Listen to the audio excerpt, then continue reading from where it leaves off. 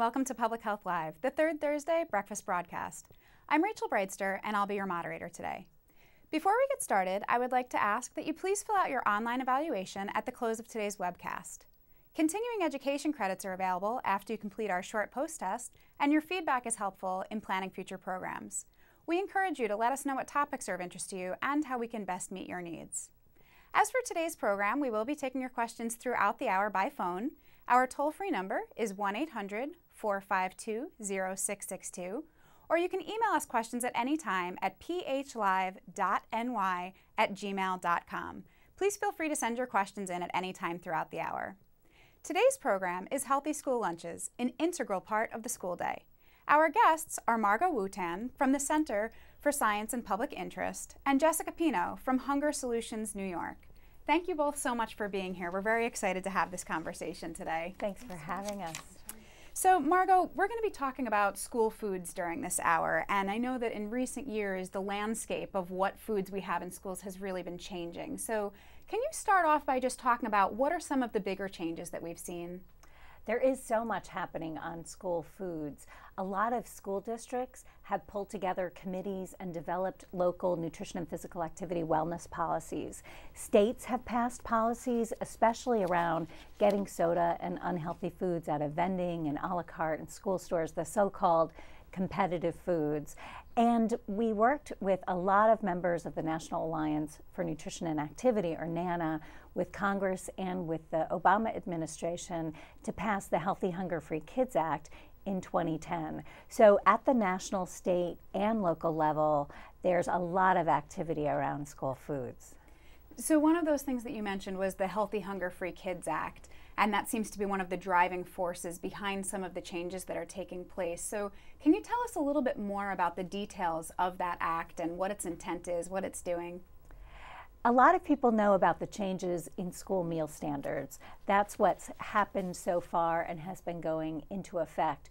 But with the Healthy Hunger Free Kids Act, we were able to put into place a very comprehensive system of changes to help support healthier school nutrition environments. So there are the new school lunch and breakfast standards. There are also updated standards for the foods that are sold outside of the meal. So the competitive foods, vending, a la carte, school stores.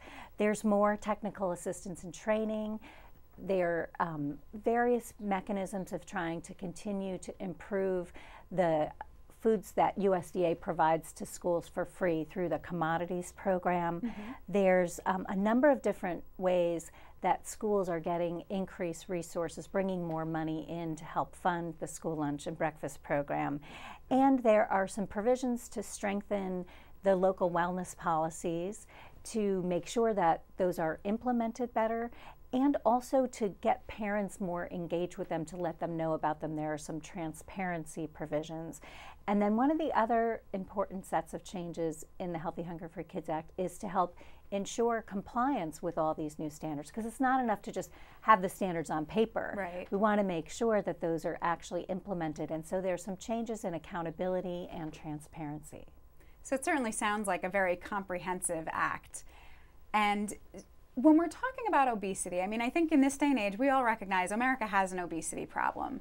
But focusing efforts in the schools, why are we doing that? I mean, is there reason to believe that children are exposed or more likely to become obese through the foods that they're eating in schools? Why are we targeting so many of our efforts there? It's not that we're blaming schools for causing obesity. It's that kids spend so much of their time at school. Sure. You know, after home, probably school is the next place where they spend most of their waking hours. And kids do a lot of eating at school. Some kids eat breakfast, virtually all kids eat lunch younger kids eat a morning snack, some kids eat it after care, so after school. So overall, kids are eating about a third to a half of their calories at school on school days. One of the other nice things about focusing on school nutrition policies is it's not adding to the burden of schools. It's not asking them to do more, which is hard because schools are being asked to do more and more with sure. oftentimes it seems less and less. But we're not asking schools to take on a new responsibility. We're just saying you're already feeding kids. Instead of feeding them what you're feeding them now, try to make that food more healthful. Sure, and that certainly seems like a common sense approach. Now, one of the bigger changes we've seen is in meal patterns in the breakfast and lunch. So, can you talk about what has how has the meal changed in terms of what we're expected to be providing? So there are updated nutrition standards for school lunch and school breakfast, and those are being phased in gradually over time. What we'll end up with are school lunches that have double the amounts of fruits and vegetables, which is great because fruits and vegetables are something kids are not eating enough of. Sure. There'll be less of the bad stuff, less salt, less trans fat. Schools have already been working to reduce saturated fat, which will continue. The grains will need to be whole grain rich. They don't have to be 100% whole grain, but they'll need to be at least half whole grain. Okay. The milk needs to be low fat. And then importantly, USDA adjusted the calorie levels so that they address both hunger and obesity. We want to make sure that kids get enough to eat, but they're not overfed. Sure, which seems like maybe to be a, a tricky balance to achieve. There's been a little controversy about the calorie caps, and you hear about kids going hungry. And a lot of that has been political pushback because the calorie levels really are ample to provide for most kids' nutrition needs. And for a very active teenage boy, the calorie levels were never really high enough for them mm-hmm. anyway. They're going to need to buy an extra entree or side dish. You know, if a kid's eating 4,000 calories a day, no school lunch is going to take care of all those needs. Sure. Now, I would imagine that one of the concerns in changing these patterns and changing the standards is the cost. And is, is it reasonable to expect that schools can afford to implement these new changes? We've also heard some complaints about the cost, mm-hmm. and from some school administrators and some policymakers who say this is an unfunded mandate, that we're asking school to make these changes and we're not providing them with ample resources. But this is far from an unfunded mandate. One thing that's different about school foods compared to other aspects of education policy and education programs is that the school lunch and breakfast programs are national programs. Most of the money comes from the federal government to the tune of, you know, somewhere around $13 billion a year. And so the nutrition standards are really just a condition of funding. If the federal taxpayers are going to provide schools with billions and billions of dollars, we want to make sure that that money's well spent. That's just sure. a matter of good government. Mm-hmm. So there are nutrition standards to make sure that this nutrition program actually provides nutritious food. And it's not unfunded, it's largely funded by the federal government. Sure. Now, getting back to that Healthy Hunger Free Kids Act, what other resources does that provide? So, there are a couple of different ways that the Healthy Hunger Free Kids Act tried to enhance funding. Mm-hmm. And it's not all government money. Most people know about the six cent reimbursement. So if a school is meeting the new school lunch standards, then they get an extra six cents per lunch. So that's one direct source of funds. And it's also an incentive, which seems to be working very well to entice schools, to encourage schools to make sure that they're meeting the new lunch standards. And schools are doing great. About 80% or over 80% of school districts are already meeting or well on their way to meeting the standards and are getting that additional six cents. But it's not all up to government. Families also need to do their share. So, middle and upper income families pay for their children's school lunch, mm-hmm. but oftentimes schools were pricing those school lunches for middle and upper income families at a price that was lower than what it cost them to provide those meals. And so, what would happen is money would be shifted from providing healthy foods for low income kids to lunches for upper income families. And that meant less resources for fruits and vegetables and whole grains for low income kids. So there's some provisions in Healthy Hunger Free Kids to make sure that schools are pricing the paid meals, the mm-hmm. meals for middle and upper income kids, at a level that covers their costs. Sure. So that the money that's meant for low income kids goes there.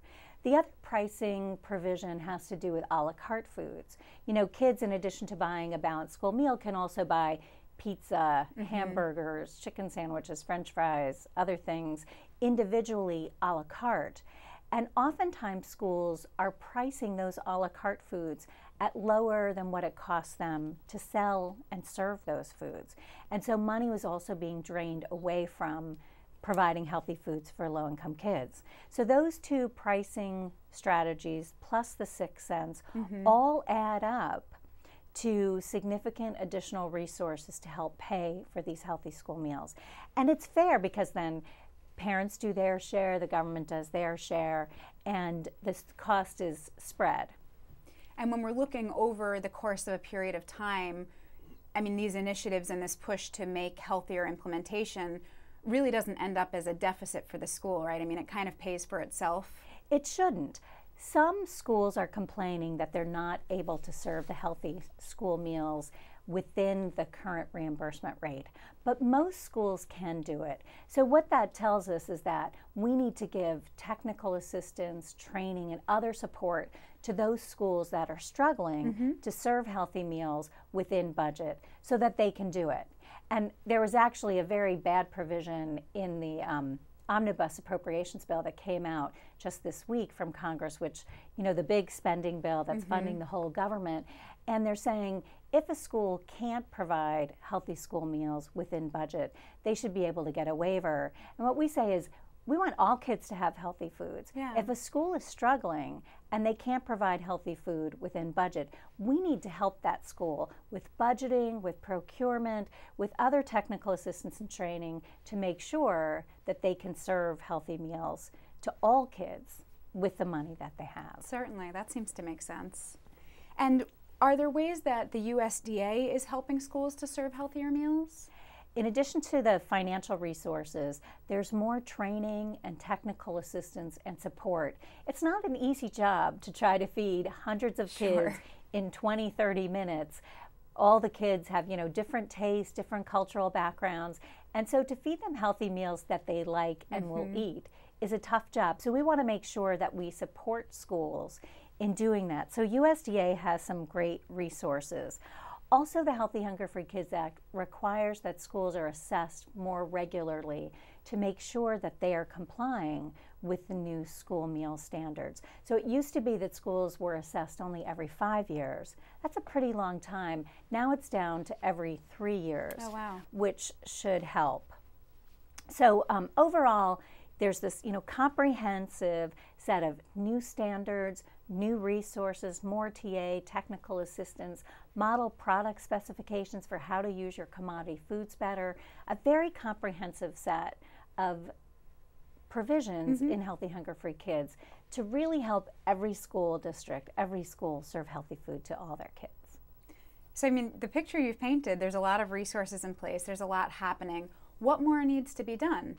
What are some of the challenges? Well, schools have a tough job. Um, for advocates and health professionals who want to get involved, schools could really use their support. Okay. One thing is if you're a state level advocate or professional would be to work with your state child nutrition program. So the child nutrition program is responsible for running school lunch and breakfast programs and other child nutrition programs talk to them, work with them, find out what they need. I'm actually going over to meet with the New York State Child Nutrition Program today to find out how's it going? Mm-hmm. What do mm-hmm. they need? Are they getting the training and support that they need? That that can really make a big difference. At the school level, schools have found it very helpful to engage children. You know, these days kids have a lot of opinions oh, about oh, yeah. what they want to eat, you know, from a very young age. And so we want to ask kids, you know, which entrees and side dishes, which fruits and vegetables do you like? Do some taste testing, have them vote, get them engaged in marketing the school lunch program to their friends so that school lunch becomes cool. We mm-hmm. want to make sure that the meals are appealing to kids and that they're willing to eat it. We don't want it to be a program where, you know, the kids think like, "Oh, that's healthy food that tastes bad that I don't yeah. want to eat." We have to engage kids to make school lunch cool because kids are used to seeing billions of dollars worth of marketing for McDonald's and Burger King and mm-hmm. Taco Bell. We want to make sure that they think that school lunch is also appealing and tastes great. And then getting parents engaged is also really important. A lot of parents don't realize how the school lunch program has changed. And so they think about school lunch as being something that's unappealing or unhealthy. They might not know that their kids' school lunch is really great, that it tastes good, that it's appealing. And so that way, parents will be more willing to have their kids buy school lunch. The more kids that participate in the program, the better it is for the program. We have a lot of resources on our website at schoolfoods.org slash back to school. And there are tips for parents, letters you could send home to them, letters you could send to your food service director thanking them for their hard work, and other materials to help engage parents and kids, school administrators, teachers, and others in supporting the school lunch program. Excellent.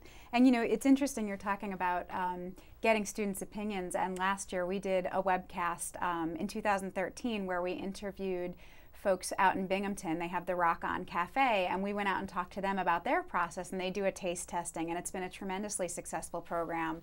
Um, and that was a Public Health Live that we have on our website um, that we did about a year ago. So oh, that sounds it's great. certainly been successful for them. I would imagine other schools could really benefit from a program like that as well. Yeah, kids expect to be a part of the process. They expect to have a say in the decisions about what they eat. Mm-hmm. And a school that's not that's you know has plate waste where the kids don't like the meal. It's not that kids won't eat school lunch. They just need to learn from those schools that are doing a great job. Mm-hmm. we actually have a great pinterest board with other members of the national alliance for nutrition and activity.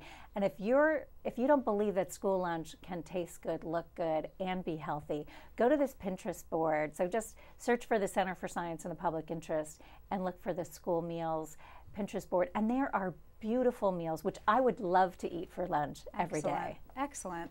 So now we've been talking a lot about meals. One of the other issues are those competitive foods or other foods that make their way into the school setting. Can you talk a bit about those? There are a lot of foods sold outside the meal program. So there's vending, there's these a la carte foods where kids buy foods individually mm-hmm. instead of as a packaged meal in the cafeteria. School stores, lots and lots of fundraisers that sell foods regularly. So, one of the key provisions of the Healthy Hunger Free Kids Act, which we worked on for over a decade with Senator Harkin and others, um, will require USDA to update the nutrition standards for all the foods that are sold outside the school meal program on the school campus during the school day. So it doesn't cover like a football game on a Friday night okay. or a fundraiser that the kids might bring home and sell to their neighbors, but it affects all the food that's sold on campus during the school day. So USDA updated those standards. They came out this summer and they go into effect in the coming school year. So the foods that are sold outside of meals will have to meet standards for fat, salt, sugar, calories, and really importantly, the food will also have to be food. You know, it won't yeah. only have to be low in the bad stuff, but it'll need to be a fruit, a vegetable, a whole grain. It'll have to provide something nutritious to kids. And so um, this will be a shift for some schools that don't have standards, but for a lot of schools, they've already been working on this. Okay. Um, and then on the beverage side, mm-hmm. um, in elementary and middle schools, schools will only be able to sell water, juice, and low fat milk. And then in high schools, they'll also be able to sell low calorie beverages. So about 60 calories per 12 ounce container. So for those states that already have policies, which there are probably about a dozen that have pretty comprehensive policies for competitive foods, they're going to need to reconcile their current policy with the national policy. Mm-hmm. Sometimes that'll mean just little tweaks. Maybe they didn't have a sodium standard and now they'll have to have one. And in other cases, it'll take a little more work. So, one thing that public health advocates can do is to work with their state child nutrition program to help schools get ready for the new standards and to help reconcile their existing competitive food standards with the new national standards. So one of the things that you mentioned was the fundraisers. You know that you're not necessarily talking about fundraisers where kids take things and they're selling them at home. And certainly, I remember when I was in school, a big part of fundraising is bake sales, or you get those that box of candy that you bring home and you're selling chocolate bars to everyone. Um, what what are your thoughts, or what are the policies on fundraising? So the Healthy Hunger Free Kids Act does cover fundraisers. Those fundraisers that are on campus mm-hmm. during the school day. So if you're selling cookie dough at home on the weekends to your neighbors, that's not covered. A local wellness policy or state policy could cover that. But um, but USDA is allowing for some exemptions. The number of exemptions will be determined by every state. So that's another thing at the state level. States will need to decide how many exemptions are they going to allow to the nutrition standards for fundraisers. They could choose to do one a semester, two a year. It'll really be up to them. The fundraising provision has been a little more controversial than the rest of the competitive food standards. I think we've gotten to a point where everybody thinks soda and candy bars should come out of vending machines. But fundraisers, I don't know, people have a little bit of nostalgia or they think they're so essential. Like our education system will falter if we don't have a bake sale to, you know, to raise funds.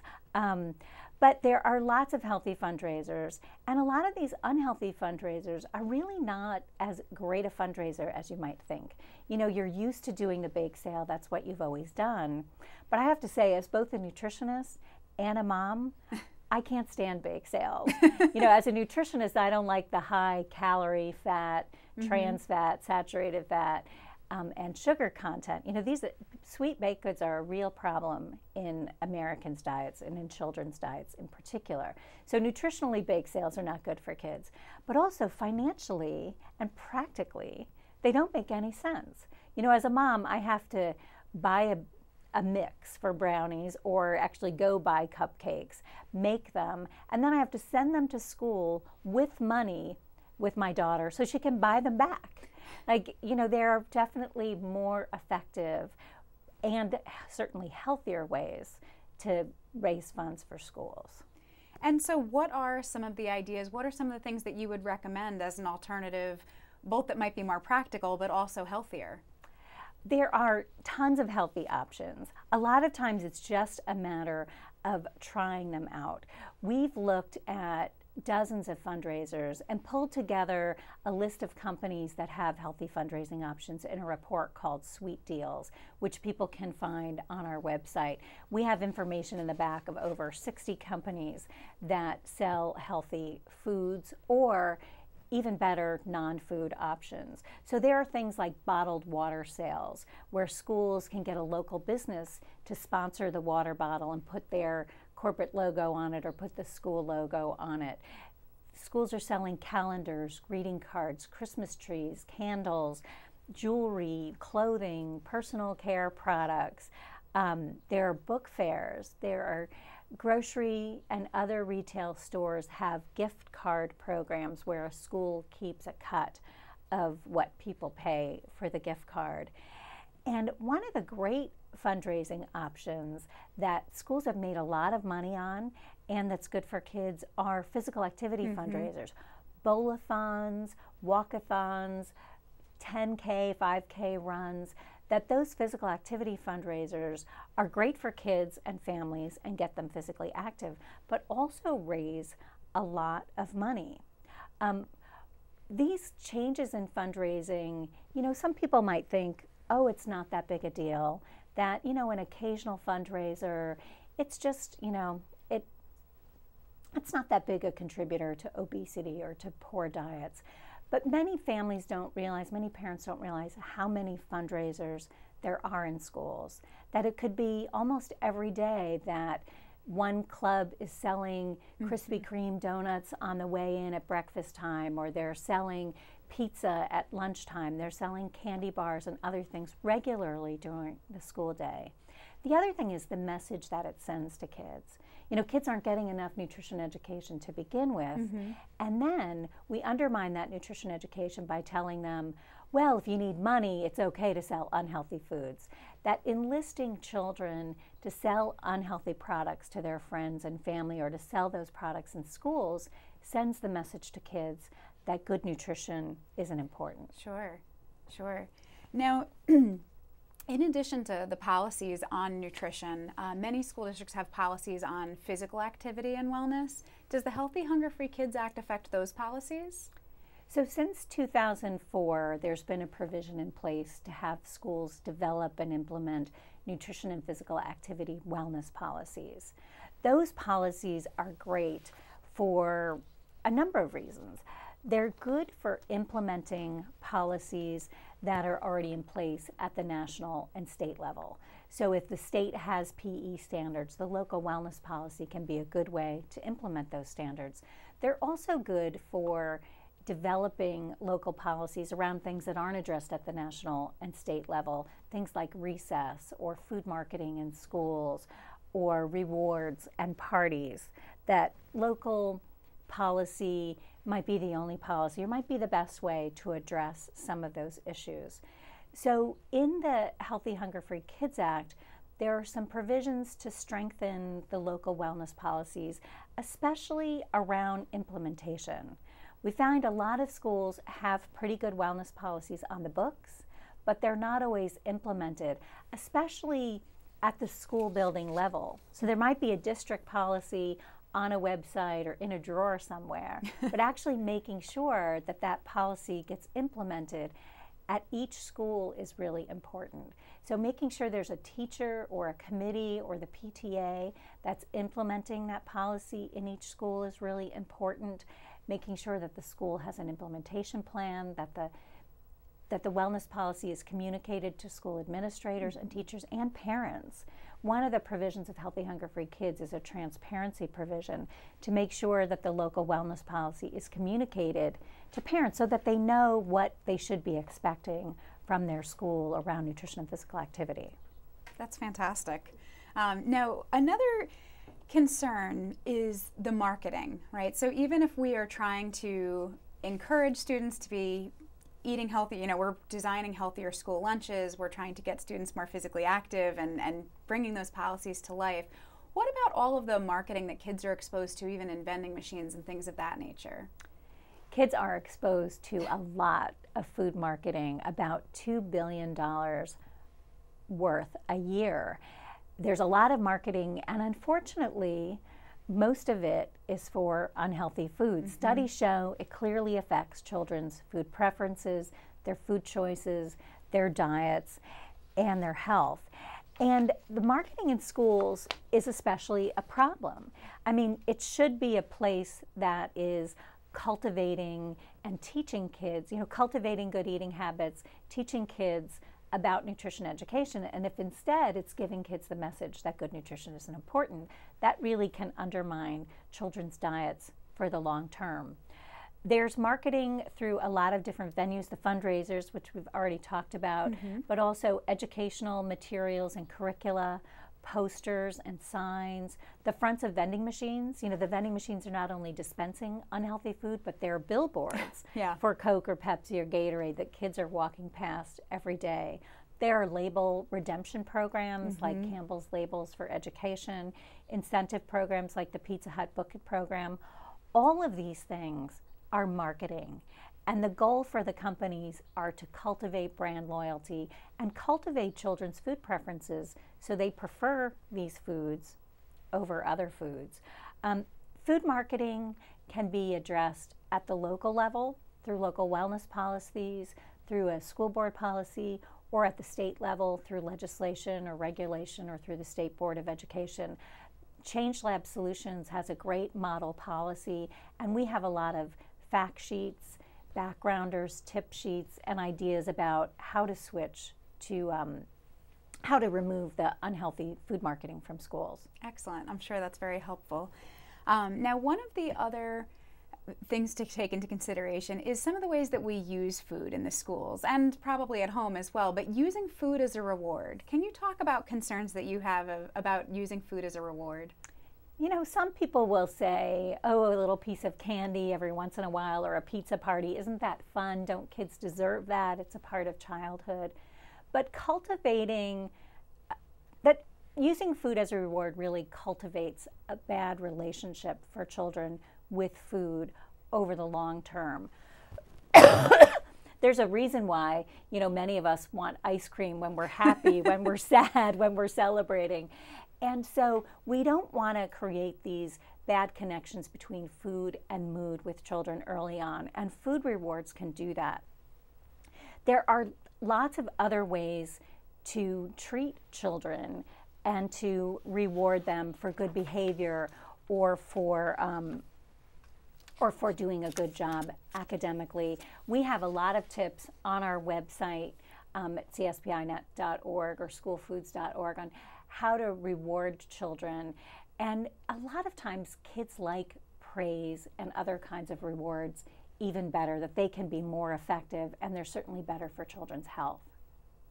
Um, yeah, and I can remember even when I was in school, when the list would come out who had made the honor roll or high honor roll, everyone went out to ice cream afterwards. I mean, that was what we did to celebrate. And it does sort of become this when you accomplish something, you go out to eat, you go celebrate with some kind of food. So it is interesting how that starts at a young age and then translates into later in life. Yeah, I mean, praise, social rewards, recognition, you know, mm-hmm. getting the sash for being the having the highest math grade or getting a button that says, you know, you've done great, getting stamps on the back of their hands, getting little other kinds of trinkets. You know, oftentimes candy is not that special for kids mm-hmm. anymore because they're, you know, giving out Jolly Ranchers left and right. Sure, sure. Um, and what about parties in schools? You know, there's we have the Halloween parties, there's birthday parties, there's all, it always seems there's always a party celebrating something. What are your thoughts on that? You know, I don't want to be accused of being the cupcake police because I do believe in, you know, having a birthday cake. My daughter always had a birthday cake, you know, for her birthday growing up. But the parties have just gotten out of hand. You know, there are so many celebrations at schools, especially this is a problem in elementary schools, mm-hmm. where you have, you know, 20, 25 students and then every single holiday you can possibly think of, you know. I mean, Halloween, you, Valentine's Day you expect, but it's Dr. Seuss's birthday, it's the 100th day of school, it's VIP day, and everyone is an excuse for cupcakes. A birthday ends up meaning a party at school, party at aftercare, a party with their friends, a party with family. So, you know, one cupcake or one piece of cake would be fine and would be a very nice celebration. But four cakes, you know, gets to be a lot of work for parents and also starts to undermine children's health. And then each party ends up getting a bit out of hand. You know, at schools these days, a lot of times it's not just cupcakes, it's also a sugary juice drink, pizza, Cheetos, and a little candy goodie bag that goes home. So we recommend that schools find alternative ways of celebrating children's birthdays. You know, and it depends on the kid's age and what the kids like, but kids love extra recess or they can have a birthday sash or a birthday crown or a pin.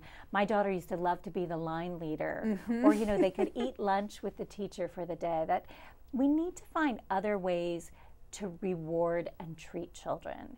That you know, it may seem like a party every once in a while is not that big a deal, but it really gets at the heart of how we use food with children mm-hmm. and how often we do. And we need to make treats treats again.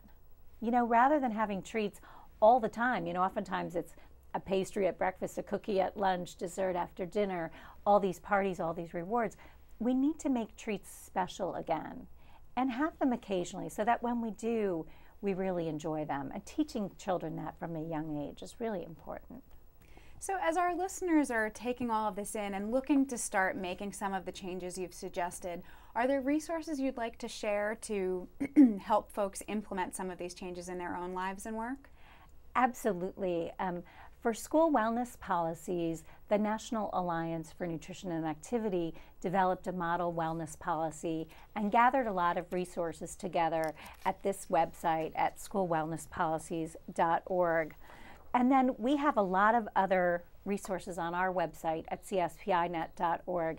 There's a nutrition policy section, and all the school foods policies I talked about today, we have backgrounders, fact sheets, model policies, and then also on a whole other range of policies on restaurant foods and healthy food on government property and other issues. We have resources that we've developed at the Center for Science and the Public Interest, but also resources that other coalition partners have developed that we just think are good resources. So if someone else has done it, we don't necessarily do it again, but we'll try to put it on our website. Also, we're available to provide some technical assistance and support to folks working on state and local school foods policies. I'd also just point you to some of our social media. Mm-hmm. We have a Facebook page, which not only has a lot of good policy information, but also just practical tips. So if you're interested in good recipes and how to eat better, um, follow us on Facebook and Twitter. And then I had mentioned our Pinterest mm-hmm. board, which has some great pictures of healthy, appealing school lunches, also some great recipes. So we are um, there through social media as well. So just, you know, go to Facebook, Twitter, or Pinterest and search for the Center for Science in the Public Interest. Great. Margo, thank you so much for everything that you've shared with us today. We are going to hear from Jessica about her work as a child nutrition program specialist. But before we do, let's hear first from our commissioner of the New York State Department of Health on the importance of having this conversation and talking about nutrition in our schools here in New York State. All right, so Dr. Shah, why should we be addressing nutrition in schools? Schools have long been identified as the ideal setting for obesity prevention efforts. Children spend more time in school than in any other environment outside the home. In New York State, overweight and obesity affect fully 40% of public school students in New York City between the ages of 6 and 12, and 32% of students in the rest of the state.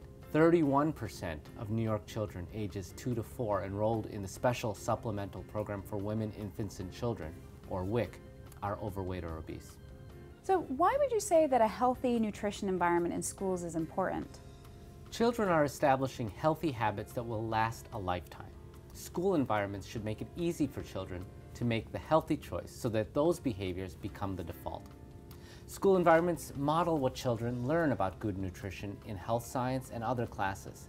And schools play an important role in children's health by adopting and implementing policies and regulations that support healthful eating environments for students and staff. Creating healthy school environments is a team effort with coordination among school administration, students, staff, parents, and members of the community. What would you say is the connection, or is there a connection between nutrition and learning? The strongest evidence is around breakfast. Eating breakfast regularly is associated with improved cognitive function, academic achievement, and school attendance. There's also strong evidence linking severe iron deficiency with poor academic performance. There's also evidence that suggests consuming fewer sugary drinks, more milk, and more vitamins and minerals is linked to better academic performance.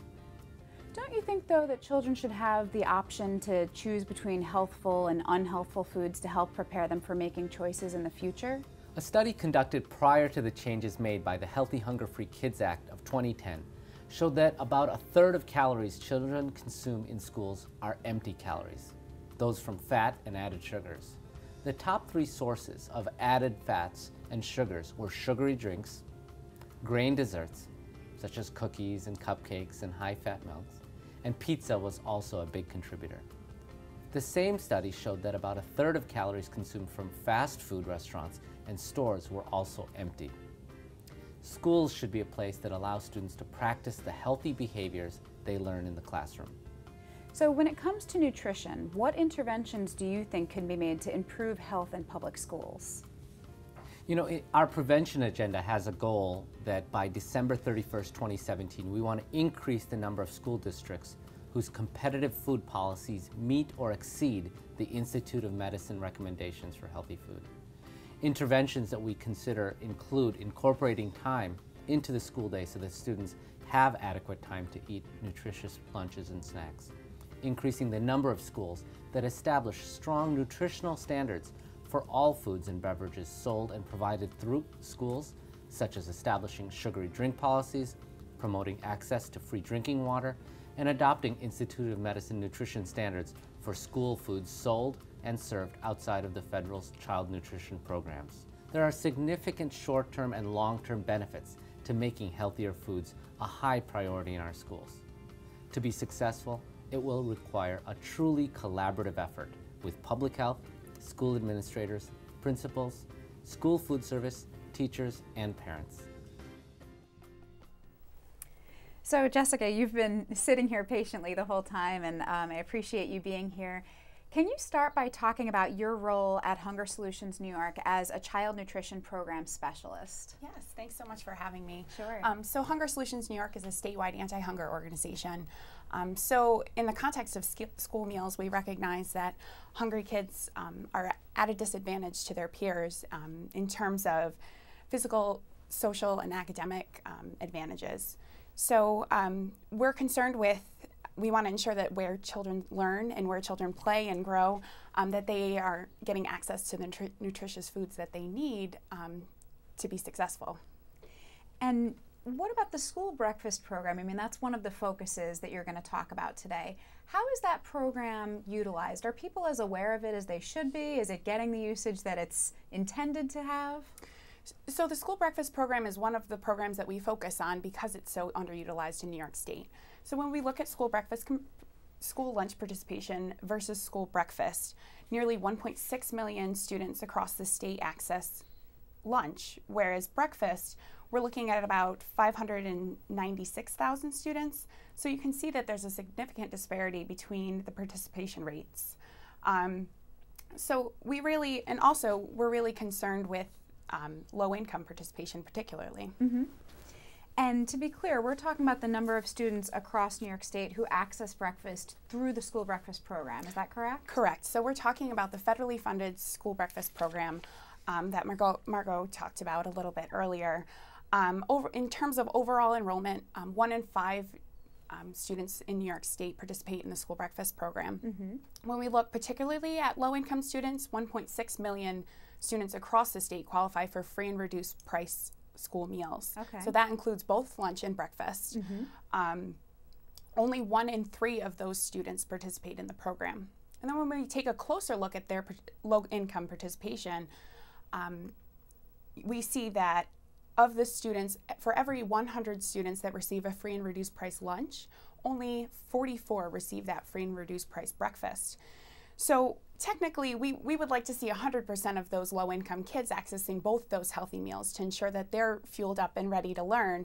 Um, and so FRAC does a ranking of how are states doing when re- in reaching our low income kids. New York State ranks 41st um, among all the states.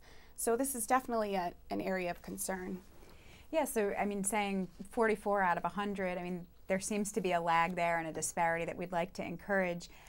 Can you talk about that that ranking that we're 41st in the nation? What does that mean? What does that translate to?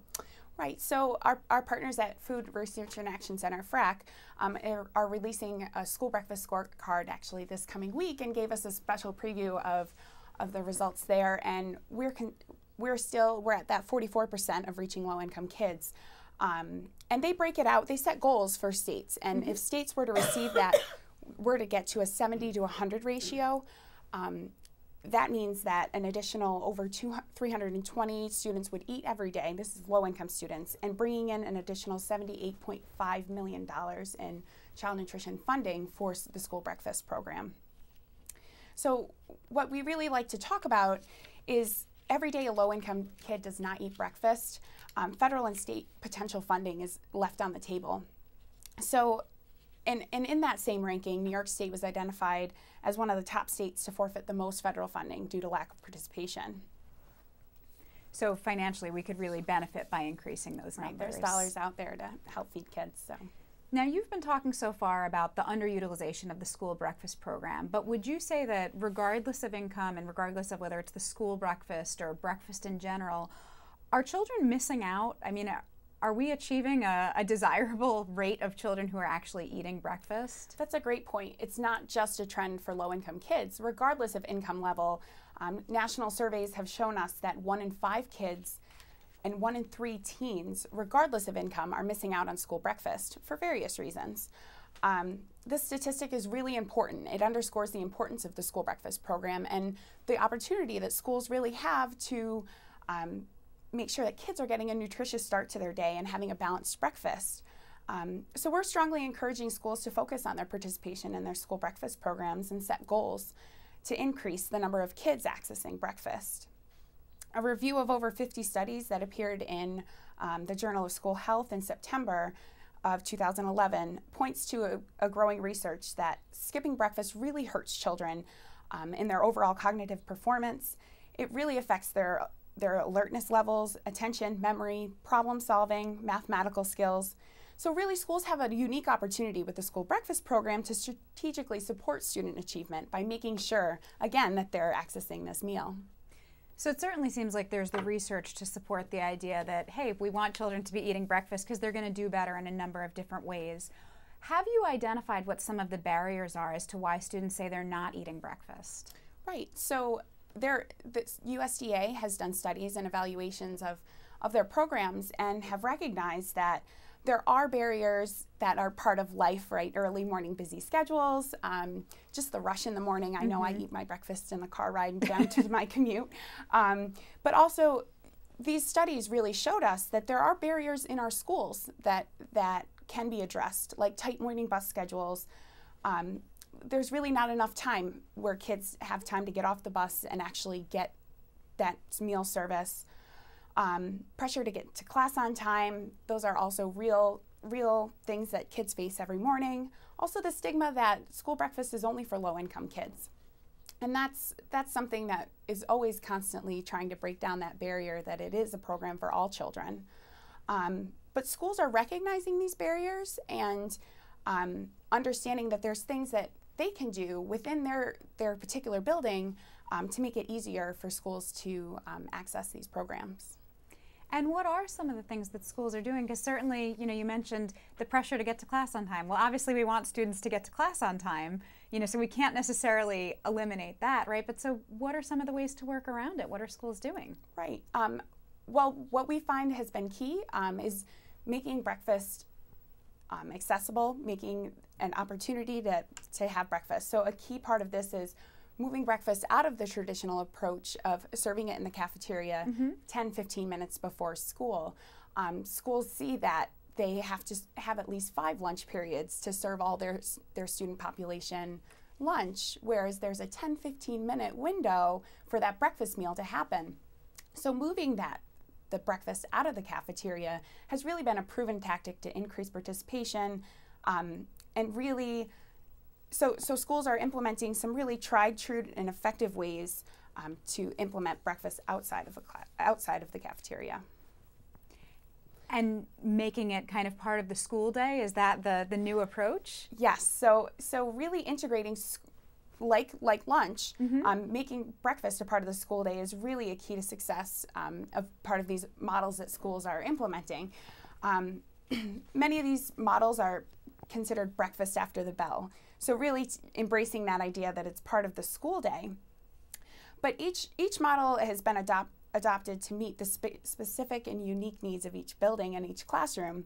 But they generally fall into these three categories of breakfast in the classroom. So breakfast in the classroom, um, meals are served directly to kids um, in that first 15 minutes, 10, 15 minutes in the classroom. So when, especially elementary school kids, when they're getting ready um, for the day and morning announcements are happening, mm-hmm. they're eating at that same time. Um, parents, teachers find that it's a much easier transition than um, trying to get out of the cafeteria, the cafeteria into, into and and it really calms the morning for um, for kids. Classroom breakfast has been really successful. Um, Undersecretary Kevin Concannon of the USDA has recognized breakfast in the classroom as one of the most promising approaches for, uh, for expanding school breakfast in the country. Some other options that schools have adopted are grab and go.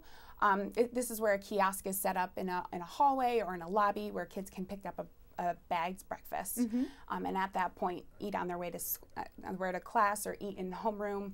Um, and then another option is breakfast after first period. So opening your cafeteria for breakfast after that um, initial time. It's really ideal for high school students to incorporate a morning meal into their routine. Now, you mentioned that some of these alternative ways of serving breakfast, you called them tried, true, and effective. Can you elaborate on what you mean by that? Yeah. Um, so, our Share Our Strength um, is a national anti hunger group that really looks at breakfast after after the bell and um, has done evaluations of the program has found that not only have these programs increased participation, but also have seen larger impacts, improving student alertness, alertness um, less visits to the school nurse, less discipline, discipline problems, um, and positive impacts on attendance. Um, just this recent weekend, we actually saw a local school, Schenectady City School District, um, talk about how recently implement, implementing free school meals, and in addition, they're also doing these these programs, breakfast in the classroom, um, in all their elementary schools, and grab and go, and um, in their middle and high schools. Um, and they have seen a dramatic increase in their attendance. It's jumped from 35% or excuse me, 58% of their kids attending 90% of the time to 91% of their kids in just one year. Wow. Um, so it's a great article to really show a local district that's doing great work. Yeah, that's those are very, you know, eye-catching numbers. That's terrific. Now, as schools are working to implement these changes into their own districts, are there resources or recommendations that you would like to share with our listeners? Yes, we would love to, for schools to really look at their participation in their districts set goals for improvement, and, and that starts by making breakfast part of the school day. Really expanding accessibility, availability, and participation in the school breakfast program is one of the best ways to um, support the health and academic potential of students across New York State. So, making breakfast part of the school day, schools can implement local policy to address breakfast service. Um, some districts, some districts can argue that serving breakfast just so having breakfast just part of their local wellness policy might not be strong enough that some schools have implemented board level policy to make sure that um, breakfast is really raised to that standard and made sure that it's important. But also, people have found success in having um, school wellness policies incorporate breakfast. But some examples of what those policies include is um, requiring all their schools in their district to offer school breakfast. In New York State, the state legislation requires high need schools. So if schools have 40% or above free and reduced um, price percentage of children, um, they they are required under state legislation to to operate the program. However, they can opt out of the program by showing disinterest. So I think strong local pol- policy level can help address that and making sure that districts are taking it upon themselves to have all their schools operate school breakfast. Um, and then also those policies can incorporate those innovative models that we were talking about, breakfast in the classroom, um, for example. Also providing universally free breakfast is really a great way um, to help kids get access to breakfast. And providing breakfast to all children at, at no cost, are there benefits to doing that? Definitely. So, so schools that use this universal approach where all school meals are free um, or or just breakfast have seen boosts in participation. Um, really, really addressing stigma and mm-hmm. making sure that making it a part of the school culture that everyone eats. Um, and then also, it, it really optimizes switching that into those alternative models like breakfast in the classroom. It makes it easier to run those programs. Um, and then also, they have had links where schools offer free breakfast to all students. Um, they've seen improvements in academic performance as well. Great. Now, I want to make sure we do have a few questions. I want to make sure we have time to get to them. So, if you could quickly talk about the community eligibility programs and the, the cost of offering universal breakfast. Sure. Um, universe, uh, community eligibility is a new provision that happened under the Healthy Hunger Free Kids Act. Um, it is a comprehensive provision, um, but it's a great option for um, high need schools to offer free meals to all their kids. Just a snapshot of New York State 67 schools participate uh, 416 individual school buildings um, operate community eligibility. And really, the idea and the goal of community eligibility is to allow high poverty schools to feed more students and to focus on meal quality rather than paperwork. So, with, with community eligibility and how it works, um, this, this is not based on a percentage of free and reduced price kids. So this is the percentage of low income kids. So and kids that are directly certified for free school meals. And okay. what that means is that schools um, who live in households that receive TANF, SNAP, um, Medicaid, FDPIR, and then also who are homeless, migrant, or foster care, or in Head Start, those are directly certified um, for free school meals, those children. So schools must meet a 40% um, threshold of, of the identified students. Um, and then from there, schools can choose to implement community eligibility either district wide within buildings or within groupings of buildings. So this has been a really powerful option. Schenectady, that I mentioned earlier, has been um, utilizing this option to offer free school meals to all their kids. So it's a really, really has shown success already in New York State. We're excited to see it continue to expand nationwide. Excellent. And I know on the screen just a moment ago there was contact information. Are there are you do you welcome viewers to get in touch with yes, you? Yes, please get in touch, especially technical assistance around community eligibility or more information about those alternative models that we talked about. Love, we'd love to talk more. Excellent. Thank you so much for all the information. This is such a rich topic. Um, one of the questions that came in asked, do the new guidelines take into account food allergies or special diets such as being vegan? Um, and this came in from New York City. So the nutrition standards really lay out which kinds of foods, like which food groups, how much fruit, vegetable, protein, whole grain. Then it's up to the school district itself okay. to decide which foods to serve. And so usually school districts look at those kinds of issues, some individually, you know, if a child has severe allergies, mm-hmm. and some culturally, you know, in some school districts, like they're kosher. going to right, they they're going to look at what the needs are, what the interests are of their student population and try to match it. So deciding about issues like that are really more at the school district level. Okay, thank you. Um, another question school breakfasts have a reputation for not being very healthful. Is that really the case? I think I think what's really there's always a great opportunity to connect with your schools.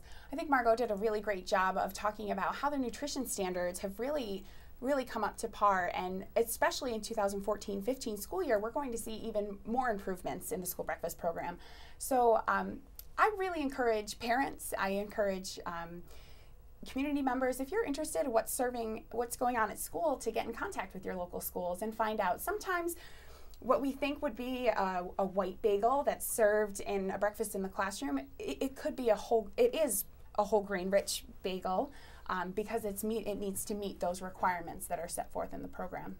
And actually, schools are generally meeting in the past have had an easier time meeting nutrition standards for breakfast than for lunch. Oh, interesting. So we'll see what happens with the new nutrition standards because the breakfast standards are still being phased in. Mm-hmm. They're not fully implemented.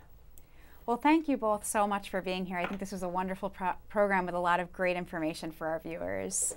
Thanks for having us. Thanks so much. Sure. And thank you very much for joining us today. Please remember to fill out your evaluations online. Your feedback is always helpful to the development of our programs, and continuing education credits are available. To obtain Nurse Continuing Education Hours, CME, and CHES credits, learners must visit www.phlive.org and complete an evaluation and the post test for today's offering. Additional information on upcoming broadcasts and relevant public health topics can also be found on our Facebook page. Don't forget to like us on Facebook to stay up to date. And always, as a reminder, you can download the companion guide to this webcast on our website, phlive.org. The companion guide provides you with learning activities to help further your knowledge and understanding of topics covered in today's program. This webcast will be available on demand on our website within two weeks, and DVDs of any of our Public Health Live webcasts can be ordered from our website as well. Please join us for our next webcast on March 20th on comprehensive school physical activity programs. I'm Rachel Breidster. Thank you so much for joining us today on Public Health Live.